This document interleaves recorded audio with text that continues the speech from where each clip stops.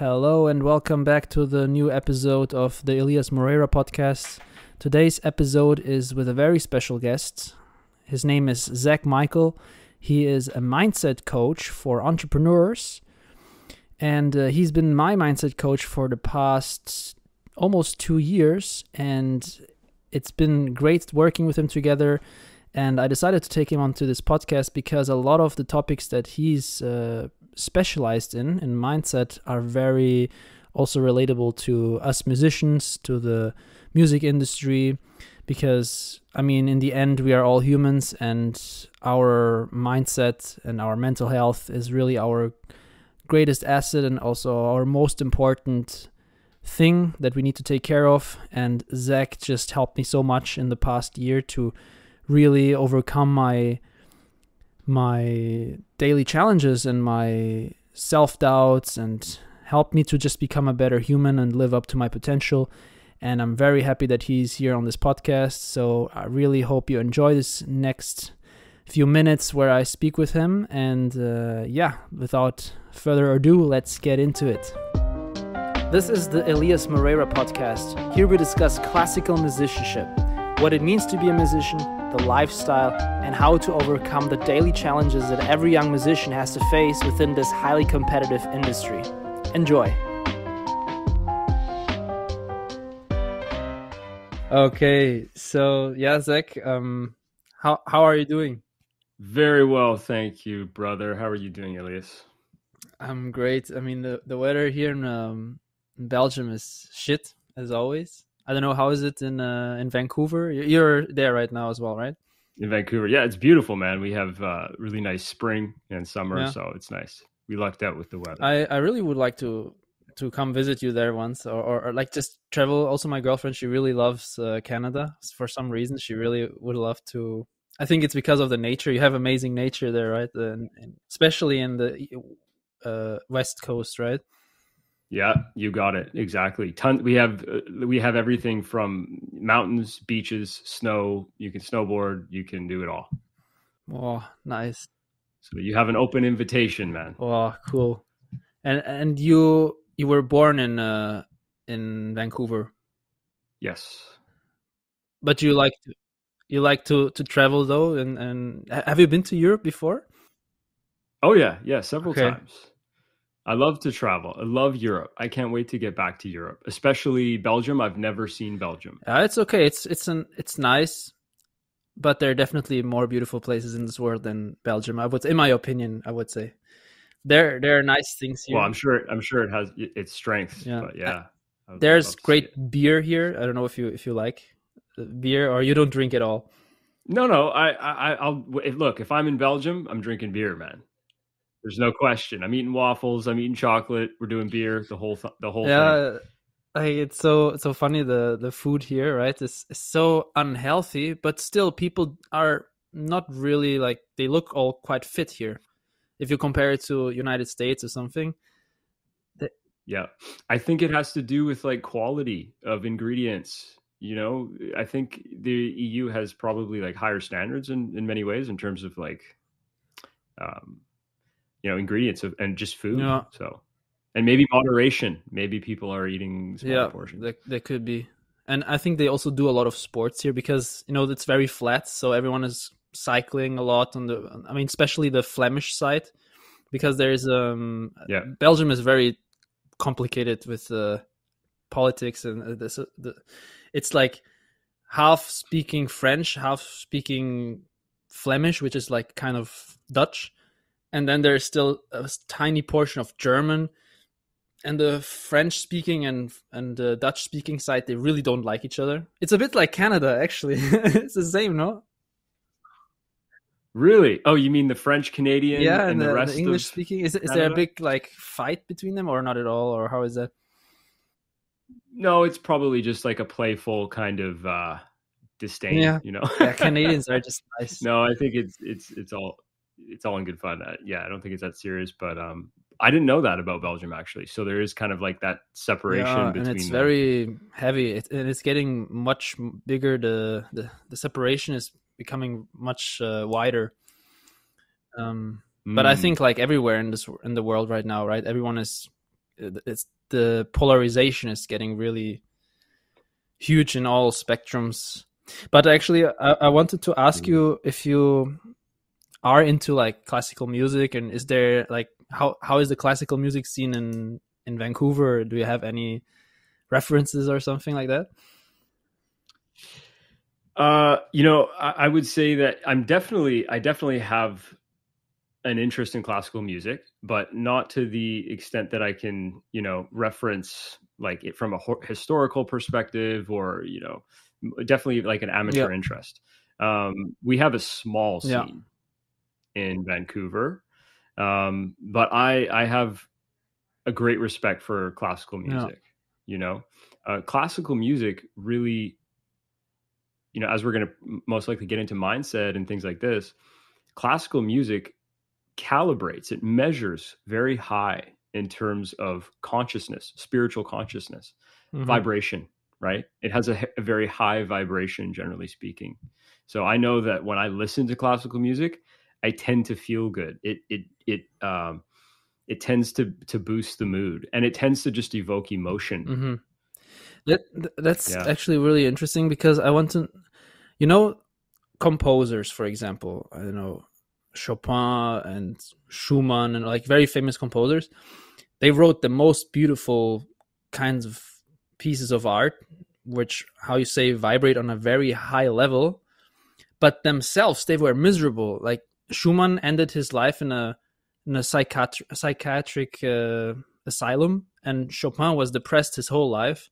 And i want i wonder why is that? Why even though they create pieces of art that are such that are so beautiful and calibrated on such a high level of love and bliss and then they are so miserable mm-hmm. you can you explain maybe like from your perspective what why that is yeah, it's a good question. I think there's a level of mysticism around it. It is somewhat mysterious, you know, um, because I think also too, you know, when I say that generally or maybe a lot of classical music calibrates high, vibrates high, also some of it will vibrate lower, but that doesn't necessarily mean it's a bad thing, right?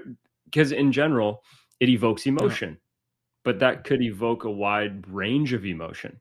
And I think that's just part of the beauty of the genre of music. It's like life, right? It's not only one way like some other genres are, where if you look at like a lot of uh, modern music, like, con- like contemporary, like hip hop, rap, it's generally there, there's kind of like one stream of consciousness yeah. or vibration that you might feel when you're listening to um, modern music in that way. But when you look at classical, there's a wide range. It can evoke passion. It can evoke um, fear sometimes. Yeah. It can evoke beauty, bliss, sadness. And so I think you know that's what I noticed the most about classical music is that it, it can really connect you with a wide variety of emotion, and that doesn't necessarily mean that it's like um, that that lower emotion is just always negative because you get to experience this fluctuation and there's beauty in the fluctuation yeah. but to go back to your question about like how could you look at let's say a composer that was maybe depressed all their life or they ended their life in a this kind of dramatic way um, from what i've heard is that a lot of these masters when you look at masters a lot of them seem to attribute their masterpieces to like divine guidance. Yeah yeah. Right? It's like when they're in some kind of state maybe like a dreamlike state or some kind of altered state of consciousness it's as though the music is being written through them and they're like a vessel. Mm-hmm.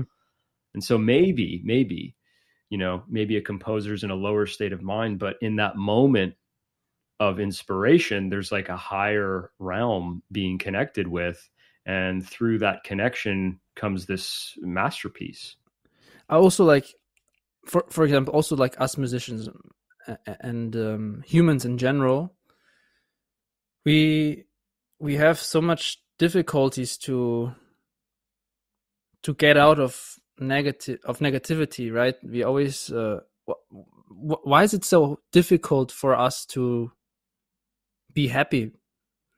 That's a like very deep question. But why is it for, for example i notice in myself sometimes that you know i'm going through my day and i go practice and i do my daily tasks and stuff and there's oftentimes like this this buzz you know this um subtle uncontentment subtle unhappiness like just following me the whole day and it's not always like that but oftentimes you know if i'm long time uh, going through my day and it's always the same very routine oftentimes I, I found myself also in the past and also sometimes today where i just feel this constant subtle unhappiness. And i think a lot of musicians can relate to that. They oftentimes you know every time i ask them how you're doing? they always say oh, i'm tired or i'm stressed or something like that. Why is it so difficult for for us to just overcome this and and and, and just be more happy as, as humans well, I think you, if, what can give us a clue here is if we look beyond just the field of um, uh, uh, of professional music, right? And we look at all different types of artists, right? We can we can look at um, you know any type of fine artist, but people who are painting, creating these masterpieces, people who are even comedians. It's an art yeah. form. It's all different forms of right brain expression, yeah. right? This is the commonality. And so if someone who is um, naturally inclined towards artistic expression, that most likely points to they're going to be ha- they're going to have more of a relationship to their right brain consciousness and the right brain consciousness is where we find emotion so if you if you look at someone on the opposite end of the spectrum who's more let's say they're in they're in a professional field that requires left brain functionality. We typically associate these types of people with less of a connection to like a wide range of emotions or maybe they're just kind of a more they they may appear as more emotionally stable mm-hmm. right? And it's just it kind of points to the field they're in because it's using more of their left brain intelligence and in the right brain it's all about emotional expression. So i don't see it as though it's like i just see it as a consequence of being more in the right brain if you're more in the right brain you're just going to have more of a connection to emotionality in general, which includes that full spectrum. Mm-hmm. Yeah. Um, this spectrum, right? Um, you, you in your in your coaching in the beginning, you always teach us the foundation of of reality, basically, right? You, you have the scale of consciousness, and for example, as we said in the beginning, classical music vibrates on a very high level can you just because you you you taught it to me, you explained to me how this scale works, but for some people that might never heard of this, can you tell a bit about what what this scale is? What are levels of consciousness? How does it how does this work? Uh, what is a level of consciousness? Yeah, good question. A level of consciousness is another way of saying a level of emotion. Mm-hmm. And we have a range of those emotions that any human can experience throughout any moment in their life. And so this this map of consciousness or this map of human emotion you might say ranges from the lowest level of measured consciousness which is shame at the level of 20. Now there's a there's a numbering scale along this map. And the numbering scale is just there to give us um, an understanding from a um, numerical perspective of like where is each level in terms of we just give it a number so we can have an easy reference. Oh, shame 20 and above that guilt 30 and then we go all the way and we keep going up in this scale till we reach a critical very important point in this scale. And this is the level of 200 so from 20 up to 200, we have the emotions that are considered the emergency emotions. These are when we are in some level of um, fight, flight, or freeze, you know?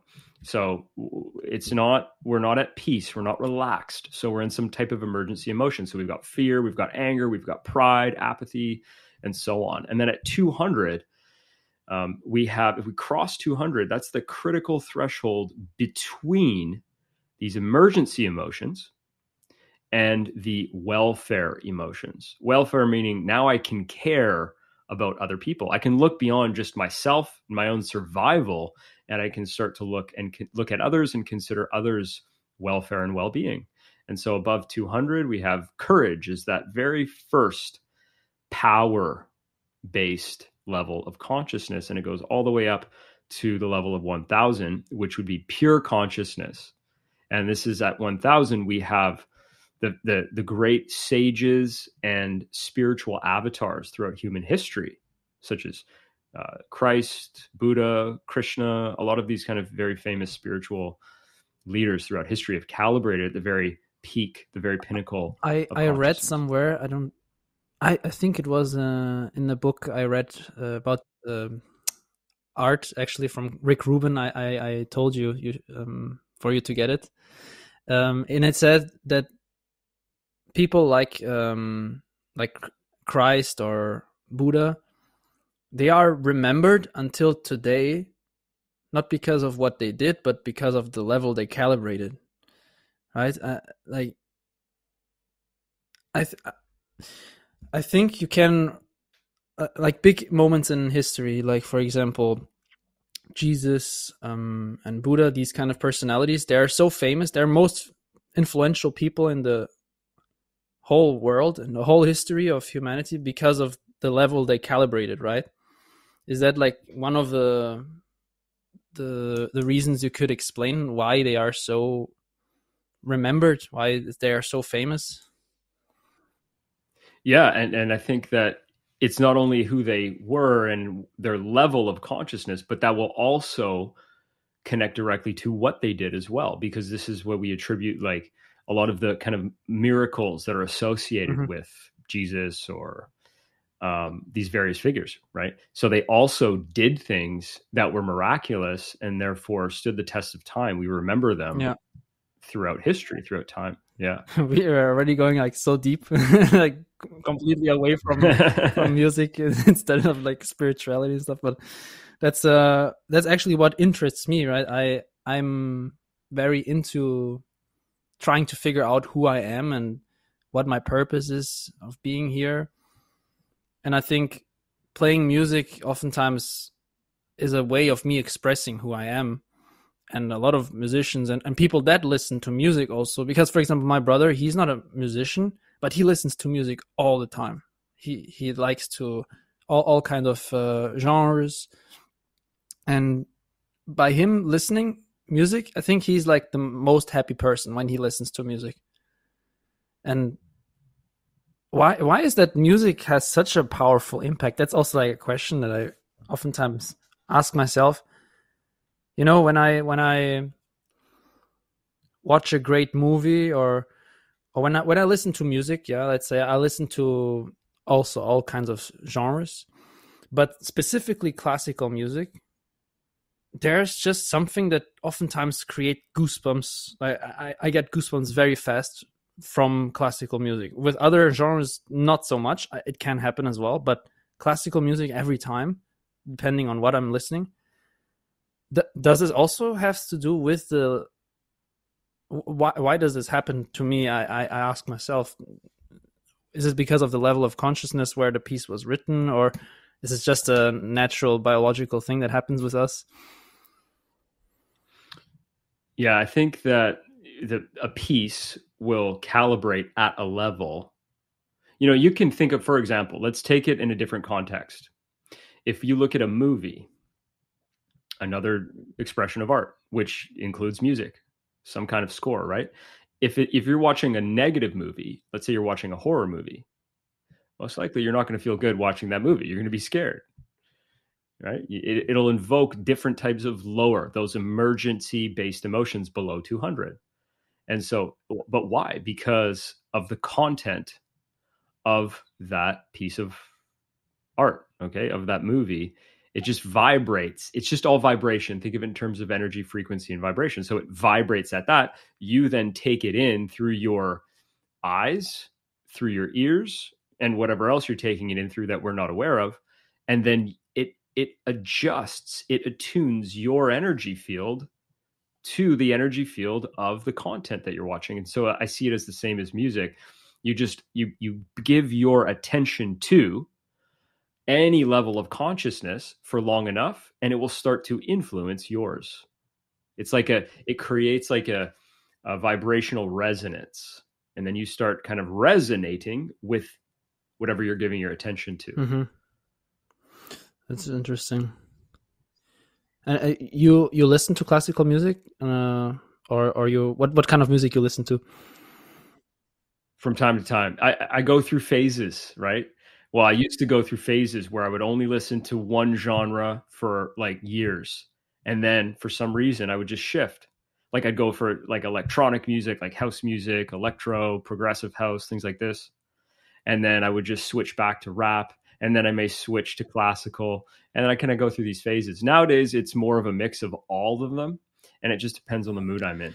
But also, like, I I wonder because a lot of really great musicians that are a lot of that that just play amazingly well. Oftentimes, they're not they're not quite well in, in their head. You know, they're they're a bit crazy. Like, there's one pianist, very famous, already died.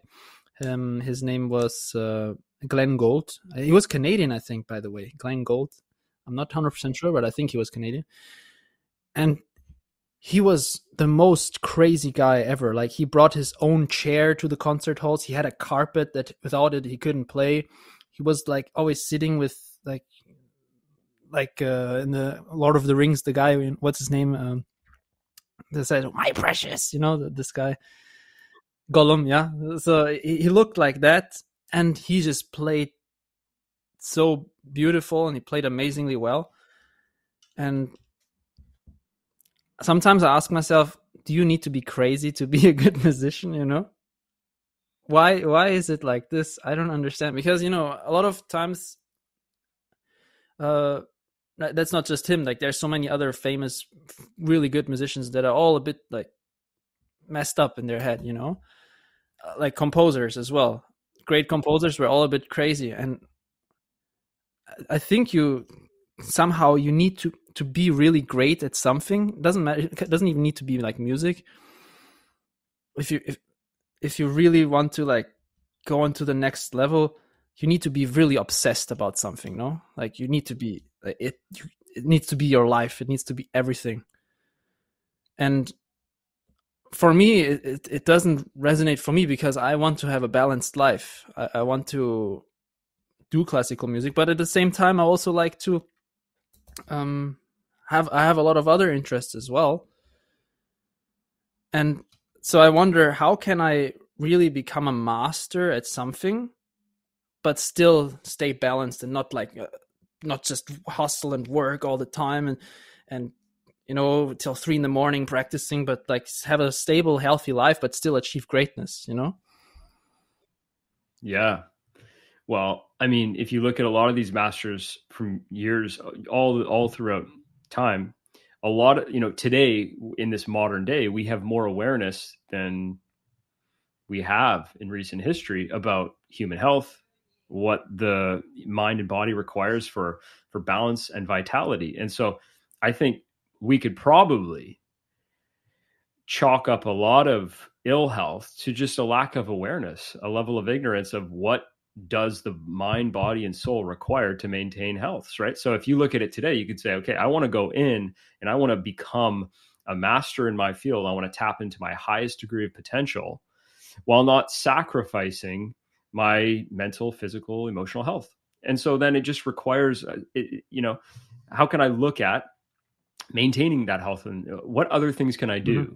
to ensure that I don't sacrifice my health in these ways while still tapping in to my full potential and developing mastery, right? Yeah. The, you know, the because to achieve mastery, we we oftentimes compare ourselves to to people that already have mastery. Um, we always look up to people we want to be like, and we we kind of idealize them but at the same time this kind of comparison really creates a lot of self-doubt within myself and other musicians. Like we i see that in musicians a lot. We are all very self-critical and we have so much negative self-talk about what we are doing. We are not good enough and uh, we need to practice more. And after a concert ask any musician they're never really really happy. They're never content like yeah i played amazing. They never say that. They're always like it's not good enough yet um why, why do we always self-sabotage ourselves? This this voice how can we how can we become more aware of this voice? How can we tackle that voice and and stop being so negative about ourselves all the time? Self-doubt how, how do we stop this? Hmm. Yeah it's a big question. I think you know part of it will depend on the individual. What is the nature of their particular form of self-sabotage some people it'll be there's going to be a voice in their head it'll be very audible be a lot of self-talk other people, it may not be as much audible and self talk. It may be just more feeling, and they may not really hear a conversation going on in their, their minds. And they just may be prone to kind of experiencing a certain type of emotion. But if you look at what you described, is that what's a common pattern? A lot of musicians, despite their level of skill, are still very self critical.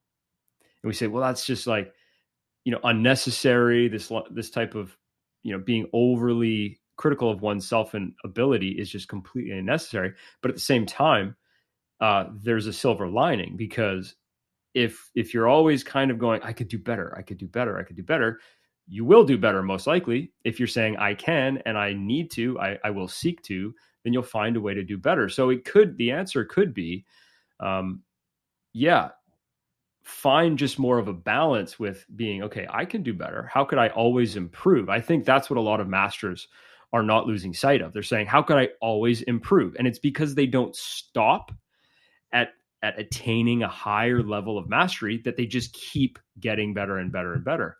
So I think we could find maybe a balance, right? It's not to say, well, I'm never gonna um, look at myself for my skills in this in this kind of intense way again.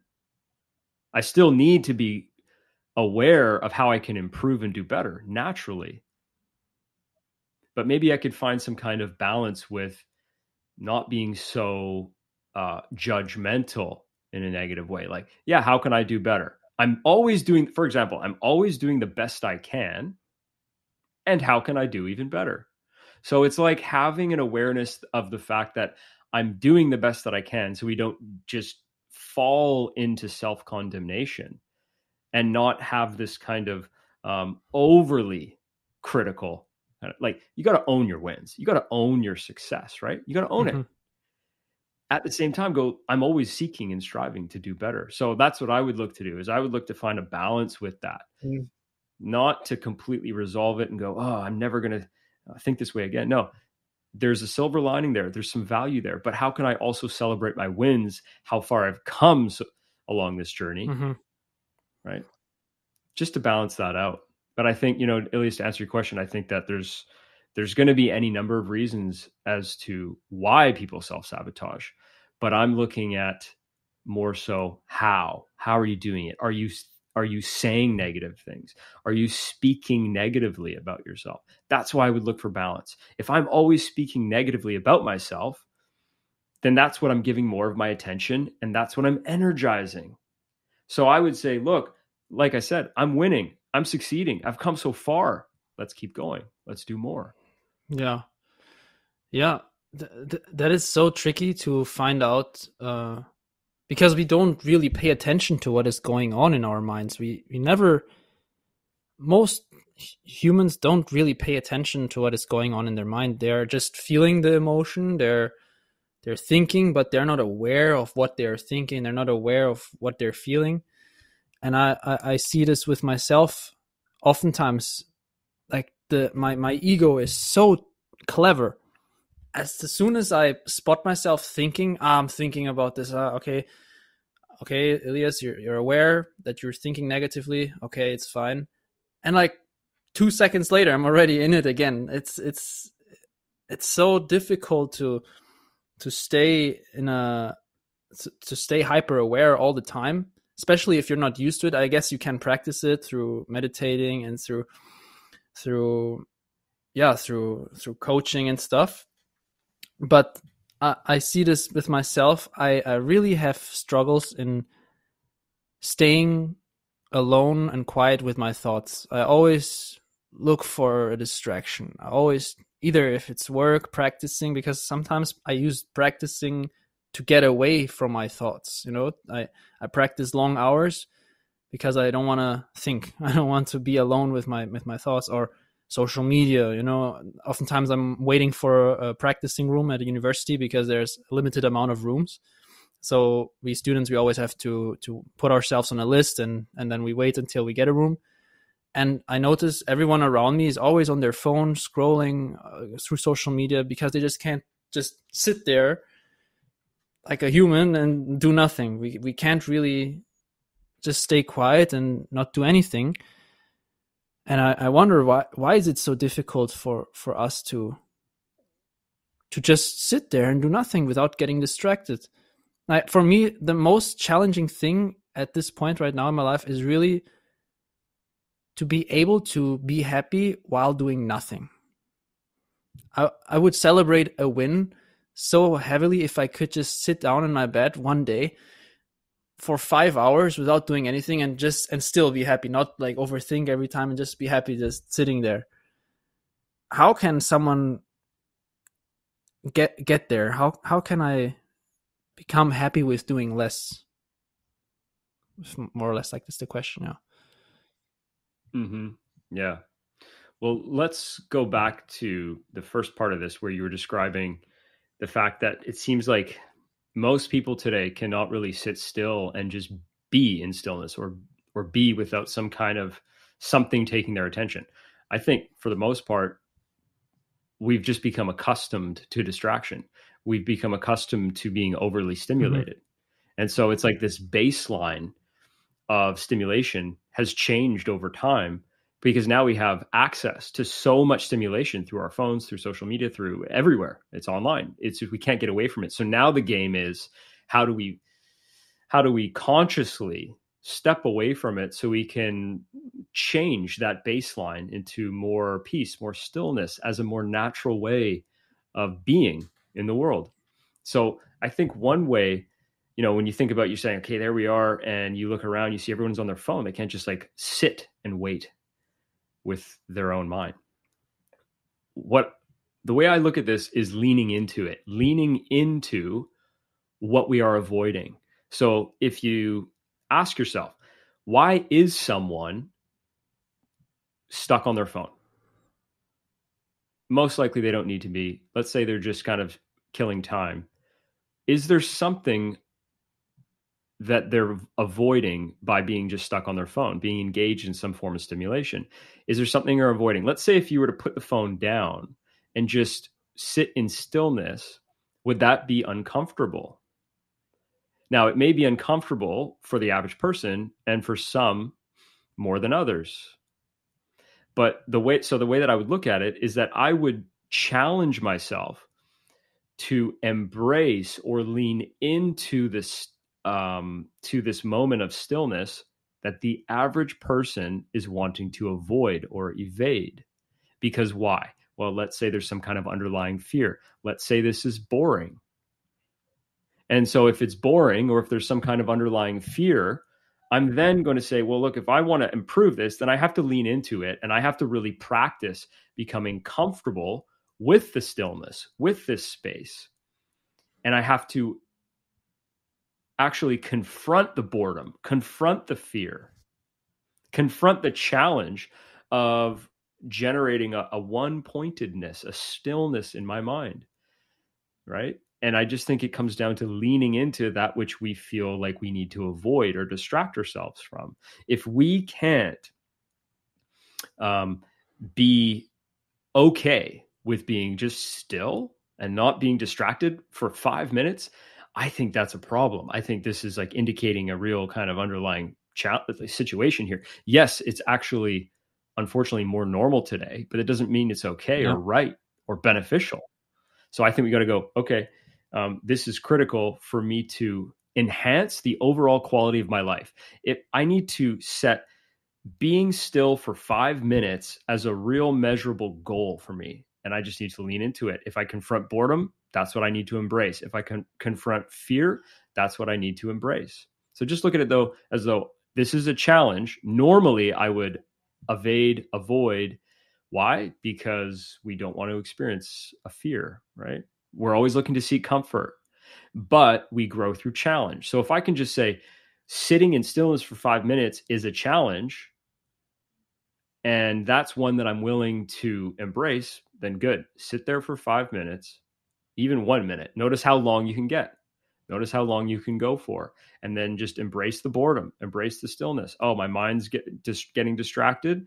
Watch the thoughts of the mind. Think of it like a little moment of meditation, yeah. and just do it piece by piece, step by step. Chip away at it. The, the way I do it, I every time I do something, I try to do one thing at a time. So when I when I eat, I just eat. I don't watch movies or because oftentimes I, I would take my phone, you know, and watch YouTube videos while I'm eating my cereal, but I try to do one thing at a time. Or when I commute to to my university or if I'm walking somewhere. Sometimes when I feel good and I want to like listen to something, to some music or, or, or audiobook or something, I do it. But I try to do it only when I feel like I'm doing it out of a right reason, like I'm inspired to listen to it, not to escape the to the the stillness. So when I feel like I want to escape the stillness while I'm walking somewhere, I don't listen to anything. I just really try to just walk and go the way I have to go. And uh, yeah, also decrease my my phone my screen time in general i i used to have a lot of screen time on my phone now I, it's some weeks it's even below one hour so it's great on my phone. I try to really tone it down but on average it's around 150 two hours something like this. But for me that's already a great improvement. I try to really reduce screen time and yeah and, and like live a more simple minimalistic life. Also because you once told me that i should really be aware in every mundane uh, situation. If i if i if i'm washing the dishes i try i try to be really aware okay i'm washing the dishes right now. And i try to just stay in the present moment and and uh and i think it makes me more calm. It it it, it reduces anxiety because if you're always suppressing what you're feeling it just becomes bigger and stronger. And and yeah i think that's that's uh, a good way for me to start at least to to become more um, comfortable with stillness I, I wonder how how does your like normally on a normal day how does your routine look like during the day? What, what do you do? How does it look like? I keep it pretty simple. Um, you know, I start out with coffee on the patio. Oh, I miss. I, I need one, man. I need a balcony. This is like the number one thing. If I, when I will change the place, I need a balcony or terrace or anything. It's, sure. So if yeah, uh, it's, it's good. Even if it's shitty weather, if you're outside, it at least feels a bit better than if you're just inside all the time this is it. I want to have a connection to fresh yeah. air. And um, so I just, we have a, it faces like this patch of forest. And so we just have our coffee in the morning and we just look at green. We look at forest and it's just a moment of connection, connecting with that vibration because it's all about yeah. vibration, right? Connecting with that higher energy of nature, having a moment of stillness. You know, it's not like a heavily engaging moment mentally. It's just peace, quiet, connecting with nature, starting the day with a connection to a higher energy, a higher vibration. And uh, and then I just you know would do some reading usually, and then I'll start my coaching sessions with clients, whether that be a group call, one on one call, and then I usually fit in uh, some exercise. So I'll go to the yeah. gym, right, and then I keep it that simple. So I'm just to me, you know, when I I used to be stacking as many different things as I could into like morning routines and things like that. But I found that less is more. Mm. So I've just found that if I can commit to certain things that are very simple and have a meaningful impact for me, to me, that's valuable. Yeah. Mm-hmm. Th- that's what I want to do as well, like make my life a bit more simple. Because also, um, do you you you coach people for your own program, right? And then you coach also for for other business owners. You help them with their clients with their mindset as well, right? Mm-hmm. And uh, what are like? Is there any? I know we are like getting super away from from music, uh, but I think this is still relevant for us musicians. When we look at other um, industries, in the end, the problems they come with to you, like the questions they have, it's always doesn't matter in which industry you are, right? It's always the same. It's actually everything is all the problems always stem from from lower consciousness so it's actually always from the same source or, or more if i can say it like that um and these these people um it, for, for you like do you see yourself oftentimes with the the same problems that they come to you? Do you recognize yourself as well sometimes that you had the same things that you struggled the same as they are struggling? Is this something that you can oftentimes relate to? I guess yes right? Most definitely. That's the big part of the reason why i'm in the field that i am because i've gone through my own experiences of self mastery right that's mostly what i teach is self mastery and as it relates to whatever anyone's main goals or concerns are whatever their industry is it always come back comes back to mastering oneself mastering the darkness within whatever that darkness is and we can look at what that is but um, yeah i've had my own personal experiences with that and i needed to find resolution find inner peace mm-hmm. And so that's a big part of the reason why i'm on this journey that i'm on and helping others is because i've walked my own pathway and i still am to this day of course. You know but when you you say uh, you said before d- despite the the field the profession it's usually an example of whatever their issue is it's usually kind of there's a pattern there with everyone. And we found that there's there's really six core wounds throughout humanity. Uh, repression one is repression where we're just kind of unwilling or or unable to uh, we're unconscious of our wounding so we don't want to go there we don't want to look it's like an avoidance pattern. And another one is denial. Mm-hmm.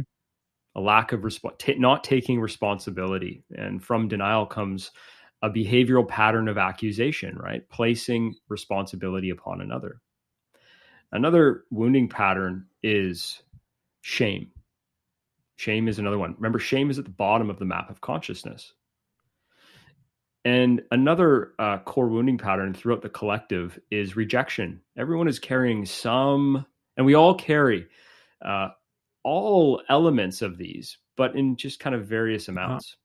Some people will tend towards more rejection than others. Yeah. So, rejection is one of them. Uh, guilt is another one. And then finally, separation. Separation. This kind of belief, this feeling like we're all separate from one another. We're separate from source, from wherever we came. We're separate. We're separate. We're separated. We're isolated. Yeah. And so, when we're looking at any of these kinds of behavioral patterns, wounding patterns, they're they're usually going to connect to one or more of these types of core wounds. Oh. That's we always have the yeah tendencies to something. For me, it was fear. I had a lot of fear. That was like my tendency. The mo- like I didn't really had the struggle with rejection and um or guilt or something like that. I mean, yes, like you said, there are certain levels so that I that I experienced, but for me, the strongest was fear. By the way, I just have to charge my laptop before it dies. One second. Yeah, so for me, it was always like uh, fear and um, fear of the future. And that's something you actually really helped me with. I, I, I got so much, I, I got rid of my strong anxiety because because of uh, the work with you and i think a lot of musicians actually can benefit so much from from what you do so if if if they were to look you up and and try to reach you to maybe work with you what, what is the best way to to get in touch with you? Yeah, you can find me on uh, at selfmasteryaccelerator.co. Okay. Self I mean, I will. I can put it also in the description later, and also your your Instagram maybe is the best way to reach you. Instagram's good as well, Mister Zack Michael, Mister Dot Zack yeah. Michael. Awesome. Yeah, yeah. I think um, less is more. Let's keep it for now until here. Um, maybe you know in the future, if people really like this episode, we can make another one and talk more. But uh, I think it was really, really insightful, and also like it was like another session, therapy session for myself as well. So again, like wake, uh, yeah, get my mindset straight. Um, yeah, Zack, thank you very much for for joining this podcast episode. You're my first guest, by the way. Man, it is an honor and a pleasure. Thank you so much for having me as your first yes. guest. And man, Elias, uh, you're going to do great things in this field. Yes in the field of music and for so many other people as well. Yeah, I hope I can do my best. And uh, yeah, thank you again for being on this show. And um, I'll uh, we'll see if you join another time next time. Sounds good, brother. I look All forward. Right. You will.